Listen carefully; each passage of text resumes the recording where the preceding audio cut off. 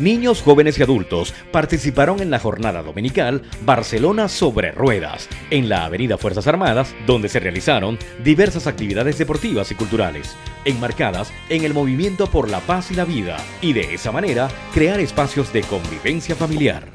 Es importante destacar que con este plan deportivo, establecido por el gobierno regional y la alcaldía del municipio Simón Bolívar, hasta la fecha han sido beneficiadas aproximadamente 25 mil personas de diversos sectores populares de Barcelona.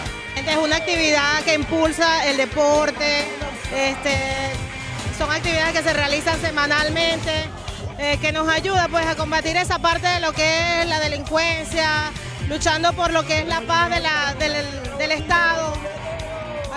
deportivas, recreativas, culturales. Estamos aquí todos los domingos.